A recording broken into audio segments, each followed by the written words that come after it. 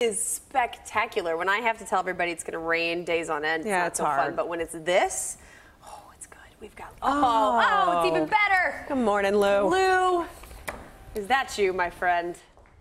Thumbs up me or something. Come on, let's see. Let's see a, like a hey, a wave. A, yeah, I knew it. It's Lou.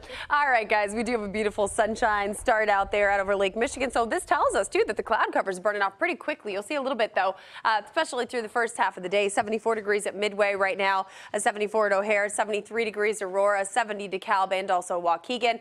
Had a few little spotty showers, still do, moving from Kankakee County over into northwest Indiana, but uh, that's about it. The rest of the day is going to look pretty good. Forecast highs today will range depending, of course, on where you are, but about 81 degrees. Chicago today, 77 Zion, 81 degrees DeKalb, and around 82 if you're over uh, near Portage for the high today. If you're heading to Portland, Maine, it's going to be 70 degrees. We're looking at Portland, Oregon at 80 degrees, about 102 in Sacramento. But again, we're going to settle in right around 80, a nice, comfortable day out there. Starting off with a bit more cloud cover, working progressively into more sunshine.